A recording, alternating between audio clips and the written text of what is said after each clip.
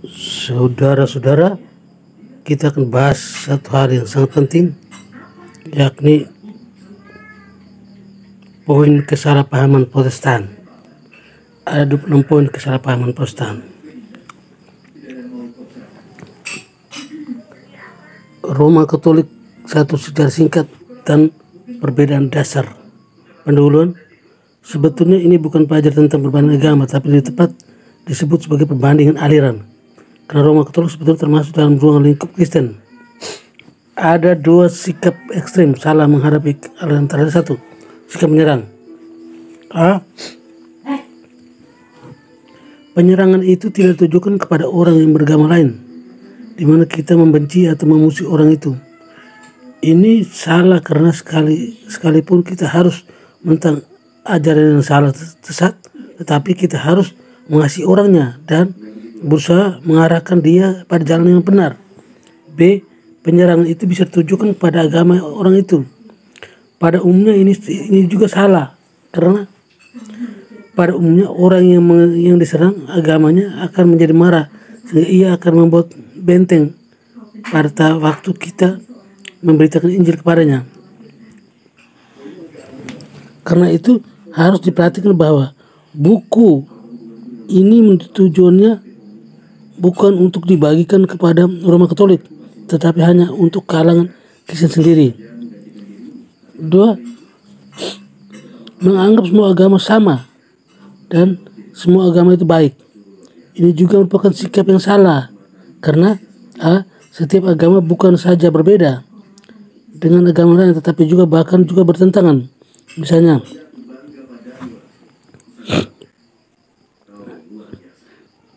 Kristen dan Katolik mengaku Yesus sebagai Tuhan Allahnya, tapi agama lain tidak. Kristen mengaku Yesus sebagai satu-satunya juru selamat dan satu-satunya jalan selamat, tetapi agama-agama lain tidak. Kristen menekankan keselamatan hanya melalui iman pada Yesus bukan karena perbuatan baik, tapi agama-agama lain tidak menekankan perbuatan baik. Jelas bahwa orang yang menganggap semua agama sama jelas tidak mengerti apa-apa soal agama-agama yang anggap sama itu. Sekalipun mungkin semua agama mengajarkan umatnya itu untuk berbuat baik, tetapi konsep tentang yang baik dan yang yang tidak baik terhadap berbeda antara agama yang satu dan agama yang lain. Bagaimana kalau umat beragama itu gagal melakukan apa yang baik? Dan kata lain, bagaimana kalau mereka berbuat dosa? Hanya dalam hanya dalam Kristen ada penebusan dosa melalui pengorbanan Yesus Kristus. Allah yang telah menjadi manusia dan mati di salib untuk menebus dosa manusia dan salib untuk menebus dosa umat manusia. Tidak ada agama lain yang mempunyai penebus dosa, pembayar utang, dosa asal. Tetapi belajar perbandingan agama. Dan satu, bukan supaya kita menjadi sombong atau supaya kita bisa mengejek atau menghina orang yang beragama berada lain supaya kita menang atau kita berdebat kalau debat dengan mereka. Dua untuk menguatkan iman kita sendiri dalam belajar tentang agama dan lain. Kita harus mempelajari kesalahan mereka dan mempelajari bagaimana ajaran yang benar. Kalau kita hanya mengerti kesalahan mereka tapi tidak mengerti ajaran yang seharusnya yang benar maka ini tidak akan terlalu membawa manfaat bagi iman kita tetapi kalau kita mempelajari baga baga bagaimana ajaran yang benar seharusnya maka ini akan menguatkan iman kita. Tiga, untuk membawa mereka kepada Kristus. Selama kita masih beranggapan bahwa semua agama adalah sama, semua agama itu baik, atau selama kita tidak mengakui kesal kesalahan dari orang yang beragama lain, itu maka kita tidak akan memberitakan Injil kepada mereka. Tetapi kalau kita sudah tahu perbedaan dan kesalah kesalahannya maka kita akan dan mempunyai motivasi untuk kita Injil kepada mereka. Khususnya dalam persoalan Roma Katolik. Ada banyak orang Kristen beranggapan bahwa Roma Katolik itu sama dengan Kristen. Dan karena itu tidak perlu diinjili. Jadi kalau saudara sudah mempelajari buku ini dan mengerti kesalahan ajaran Roma Katolik dan saudara kira saudara tidak berusaha menginjili orang Roma Katolik. Maka ada sesuatu yang tidak beres dalam kerohanian saudara. Mungkin saudara pun adalah orang yang belum diselamatkan. Satu istilah Roma Katolik. Istilah Katolik sebetulnya bukan monopoli golongan Roma Katolik. Karena istilah Katolik sebetulnya berarti universal atau umum. Am membandingkan dengan kalimat dalam 12 pengakuan iman rasuli yang berbunyi gereja yang kudus dan am yang dalam terjemahan bahasa Inggrisnya berbunyi the Holy Catholic Church gereja Katolik yang kudus. Dua sebetulnya istilah Roma Katolik merupakan suatu kontradiksi karena kata Roma menunjukkan tempat tertentu lokal sedangkan kata Katolik berarti universal umum dunia dua sejarah singkat ini perlu diketahui karena banyak orang Kristen yang mengira bahwa Roma Katolik adalah ada lebih dulu dan Kristen merupakan agama baru yang memberontak terhadap Roma Katolik. Karena itu kalau orang Kristen diserang orang Katolik dengan cara ini mereka tidak bisa menjawab. Sejak zaman perjanjian baru orang-orang yang percaya kepada Kristus dan menggunakan kitab suci sebagai dasar hidup kepercayaan disebut sebagai Kristen. Perhatikan bahwa Kristen sudah ada pada abad pertama, jauh sebelum Roma Katolik ada. Dua, mulai abad satu, satu orang-orang Kristen dianiaya oleh karena Yahudi yang menganggap Kristen sebagai suatu sekte yang sesat. Orang-orang Kristen juga dianiaya oleh oleh pihak pemerintah Romawi karena orang-orang Kristen itu tidak mau menyembah kaisar. Tetapi ba banyaknya penganiayaan itu justru menyebabkan kekristenan itu menjadi murni, tidak ada atau jarang ada orang Kristen KTP dan orang Kristen mempunyai iman yang kuat. Tiga, iya. Aduh. Ai. Ai. Dan miskol enggak enggak biasa ini arah kan ya. Kai berkum mata. So kira antu tuni na rang so je kas eh nara berkum mata. Eh. Pada awal abad keempat, Konstantin mulai tertarik pada Kristen pada tahun 324 Masehi. Setelah ia menjadi kaisar atas seluruh wilayah kekaisaran Romawi, ia menjadi Kristen sebagai agama yang sah di seluruh wilayah kekaisaran Romawi. Empat, karena Kristen dijadikan agama sah di seluruh kekaisaran Romawi, maka akibatnya banyak orang terpaksa ikut masuk Kristen. Padahal mereka, hati mereka tidak Kristen, tidak percaya pada Yesus maupun kitab suci. Mereka ini lalu mulai membawa kekafiran mereka ke dalam gereja dan gereja yang kurang ketat dalam dalam menjaga ajaran makin makin menyeleweng. Contoh-contoh penyelewengan. Satu, doa untuk orang mati dan membuat tanda salib tiga Masehi. Dua, pemujaan terhadap mereka dan orang, -orang suci. Tiga, tujuh lima. Tiga, penggunaan empat patung. Tiga, tujuh lima. Empat, permulaan permulaan Maria. Hmm. Doktrin tentang penyucian, penggunaan bahasa Latin dalam doa kebaktian, dan ditujukan kepada Maria, malaikat dan orang-orang suci Mas Masehi, gelar paus, mencium kata paus, penyembahan terhadap salib patung helix, penyembahan terhadap Santo Yusuf, kanonisasi orang-orang semua mati. Hamba Tuhan tidak boleh menikah. Dua rosario transubstansio doktrin tentang pembunuhan Alkitab larang untuk orang awam. Cawan pemurnian kudus darah untuk orang awam. Air penyucian ditetapkan sebagai dogma. Doktrin tentang tujuh sakramen diteguhkan. Salam Maria. Tradisi disetingkatkan Alkitab. Apokalipta dimasukkan kitab doktrin bahwa Maria lahir dikandung hidup tanpa dosa. Paus tidak bisa kata-kata kenaikan Maria ke surga.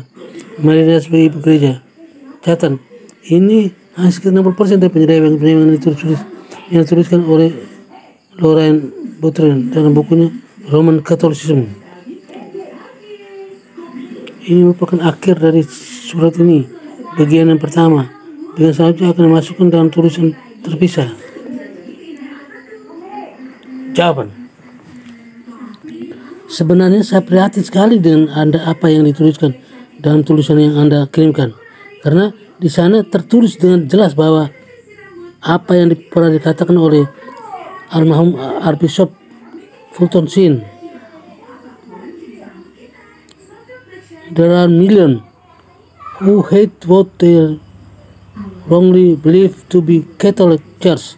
Jadi memang benar ada banyak kesalahpahaman dari umat Kristen non Katolik tentang pengajaran iman Katolik.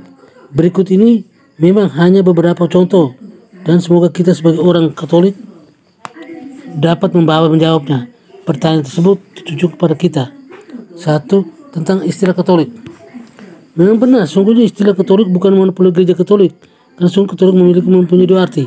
Satu, kata Katolik berasal dari bahasa Yunani Katolikos, Katolikos, yang artinya keseluruhan, universal, atau lengkap. Jadi, dalam hal ini kata Katolik mempunyai dua arti bahwa gereja yang didirikan Yesus itu bukan hanya milik suku tertentu atau kelompok khusus yang terbatas, melainkan mencakup keseluruhan keluarga Tuhan yang ada di seluruh dunia yang merangkul semua dari setiap bangsa, kaum dan bahasa. Dua, kata-kata juga berarti gereja yang tidak dapat memilah-milah doktrin yang tertentu asal cocok sesuai dengan selera pendapat kita. Tetapi harus doktrin yang setia pada seluruh kebenaran.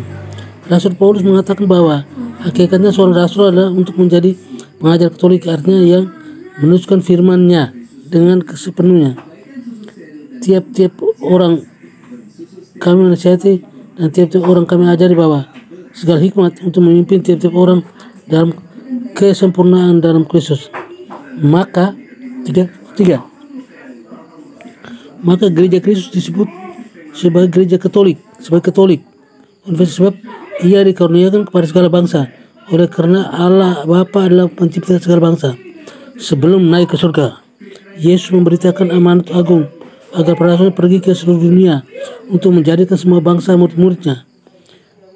Sepanjang sejarah, gereja Katolik menjalankan misi tersebut yaitu menyebarkan kabar gembira kepada semua bangsa. Sebab Kristus menginginkan semua orang menjadi anggota keluarganya yang universal.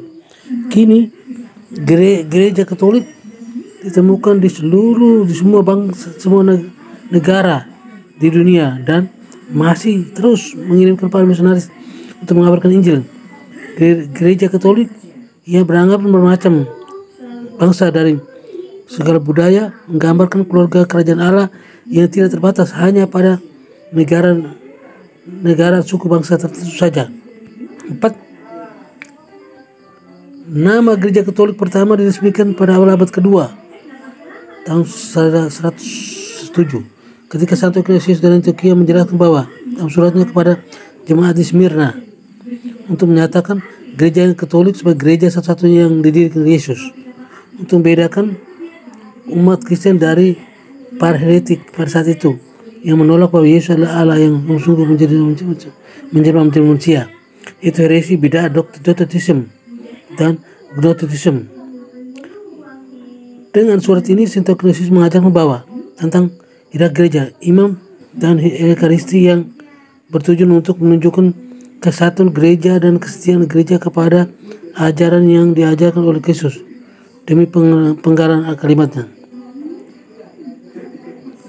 Di mana uskup berada, maka di sana pula umat berada. Sama seperti di mana Yesus Kristus, maka di sana juga ada gereja Katolik.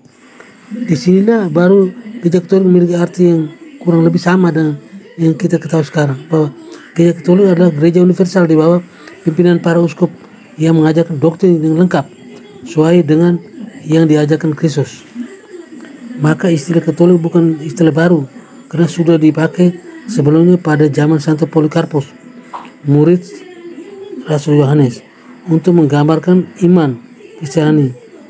Bahkan pada zaman para rasul. Kisah para rasul 931 menuliskan asal mula kata gereja katolik katolik yang berasal dari kata eklesia kata lokoh kata holos yang ayatnya berbunyi selama beberapa waktu jemaat di seluruh dunia Galilea dan Samaria berada dalam keadaan jemaat jemaat itu dibangun dan hidup dan dalam takut akan Tuhan jumlahnya makin bertambah besar oleh pertolongan dan penghiburan Roh Kudus. Karena kata kata Holocaust, kata Holocaust dalam bahasa Indonesia adalah jemaat umat seluruh universitas atau gereja Katolik. Katolik. Sehingga kalau ingin diterima secara konsisten maka kisah para rasul 931 bunyinya adalah beberapa waktu gereja Katolik di Yudea, Galilea dan Samaria berada dalam keadaan damai. Gereja itu dibangun dalam keadaan dan, dan hidup dalam takut akan Tuhan. Jumlahnya makin bertambah besar oleh pertolongan dan penghiburan Roh Kudus. Jadi benar bahwa pada kisah pada 11 26 memang murid-murid Yesus pertama disebut sebagai Kristen. Namun ada sebagian orang yang mengaku Kristen tersebut mengajarkan doktrin yang sesat seperti Docetism dan Gnosticism. Maka istilah gereja Katolik digunakan untuk menandai gereja yang didirikan oleh Yesus yang mengajarkan doktrin yang lengkap bukan berarti pemahaman para heretik tersebut yang kita juga mendirikan gereja mereka sendiri. 6. Penambahan penambahan Roma pada gereja Katolik maksudnya untuk menunjukkan di sana kepemimpinan gereja berada sejak dari abad awal itu pada zaman Santo Clemens diketahui bahwa satu Rasul Petrus sebagai uskup di Roma memang telah terbukti memegang ke, kepemimpinan untuk menyelesaikan konflik antara jemaat di Korintus.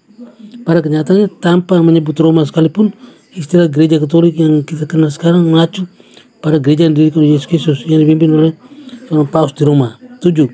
Sekitar tahun 325 memang ada agama Kristen dinyatakan sebagai agama negara oleh Kaisar Konstantin. Tetapi tidak berarti bahwa sejak itu pengajaran diselewengkan dengan mudahnya.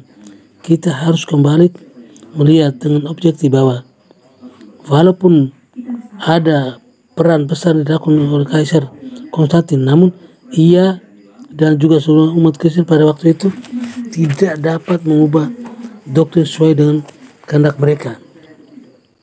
Sebab yang berperan dalam pengajaran ialah para uskup, pengganti para rasul. Kepada mereka Yesus berjanji bahwa ia akan menyertai mereka sampai akhir zaman. Dan penyertaan Yesus ini terutama terlihat dari campur tangannya dalam menjaga kemudian ajaran gereja.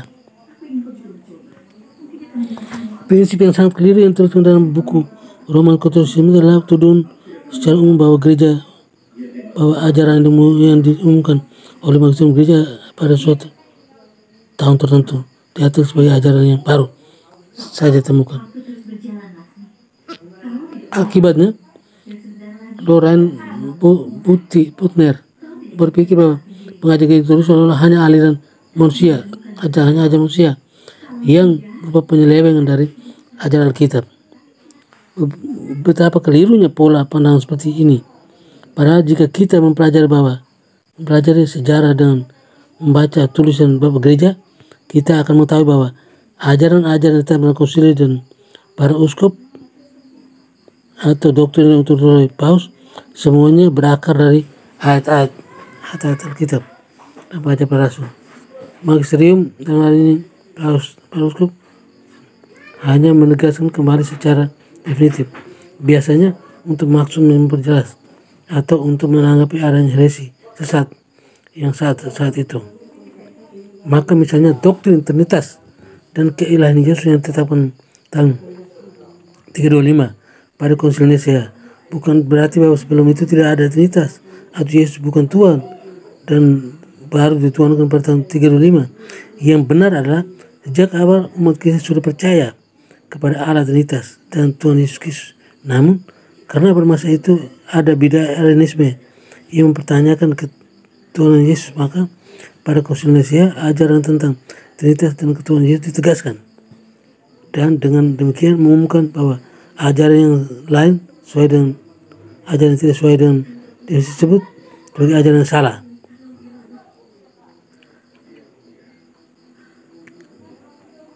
Oke, sekian dan terima kasih.